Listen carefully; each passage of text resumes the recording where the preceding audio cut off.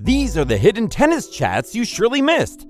We start off with Kyrgios, who is having a bad temper, and this incident is a fantastic example of this. Frustrated with the umpire, Kyrgios unloads his anger.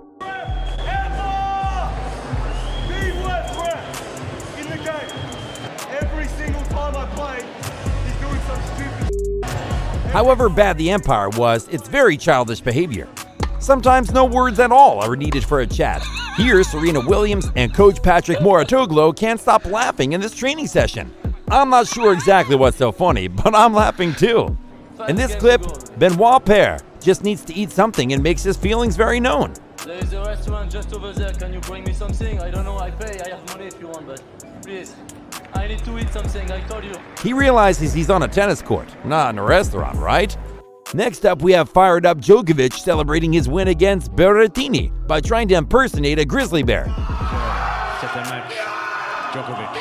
This is a man who really wanted to win a tennis match. Roger Federer has had enough of Djokovic's family in this clip, who keeps talking. He manages to get his point across with firmness and with grace.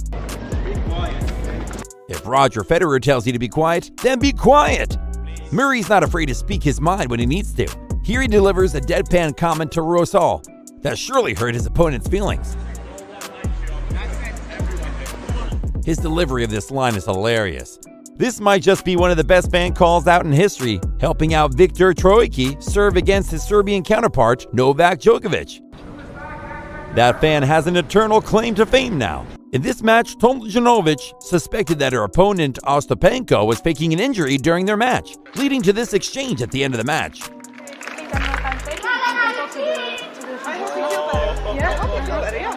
Your behavior is terrible, terrible. You're the one to You have zero respect, yes? Honestly, you're the one to talk. What? I thought Wimbledon was supposed to be a gracious Grand Slam. Here, Roger Federer gives a brilliant and calm explanation for why his opponent could not have legally got his drop shot back. ball can bounce them in a positive way. It's the only way you can push the guy down into the court first. Never disagree with Roger Federer on a tennis court. Kyrgios again, in this clip, he claims he's ready to receive Khachanov's serve despite visibly re-gripping his racket on court. Childish behavior once again, but a lot funnier this time. When a fan calls out, let's go Roger in this match against Robin Haase, Haase has a reply that makes the whole crowd laugh. Just a kicker, worked out. You can't help but love this moment. In this clip, we have Nadal responding to Ernest Gulbis after Gulbis claims he was the better player in their match despite losing. if you understand that the best player is hit every ball as hard as you can, doesn't matter if the ball goes in or goes out, uh, hit every serve 216 kilometers, 220 per hour. If you think that that means you are the best player, maybe he was the best player today. I think I'm going to side with Rafa on this one. Emma Raducanu won the hearts of tennis fans all over the world in her debut Wimbledon and US Open appearances, including the heart of this little boy. Emma, will you marry me? What a sweet little moment. After winning the Laver Cup in 2019, Team Europe held a happy press conference where they joked about one of them paying for a holiday. Are we, are we not going on vacation together?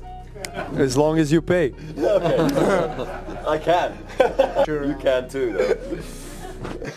We can chip in. The, the further the table. You pay the drinks. I would definitely be hoping for Roger to pay if I was on that table. This video shows Viktor Troicki getting very angry with the umpire after losing his match against Ramos Vinolas. He shouts at him for a while. Do you know what you did? Do you know what you did? Do you know what you did? The umpire eventually calls security, and I really can't blame him. For his third appearance in this video, Kyrgios gets angry at the change of ends and launches his water bottle in the umpire chair, putting a hole in it. However, he has an excuse. Slipped out of my hand. Slipped out of my hand. You know, it slipped out of my hand. If we watch the footage again, in fairness to Nick, it does seem like it slipped out of his hand. Andy Roddick has lost to Roger Federer in four different Grand Slam finals, enough to make him his enemy, one might think. Luckily, Roddick has a good sense of humor about it. Uh, first of all, I'd like to congratulate Roger. You're starting to become very, very annoying. Um, Look on the bright side, Andy. At least you were getting to finals. Now for Kyrgios' last appearance, who can be just as funny as angry. Here he reacts brilliantly to a fan call-out. Top boy, first serve. net second serve. To his credit, Nick seems to find the joke genuinely funny. Here, we have yet another example of Roger Federer's sportsmanship, encouraging Zverev to challenge the serve and subsequently win the point. It would have been a lot funnier if the serve had been out.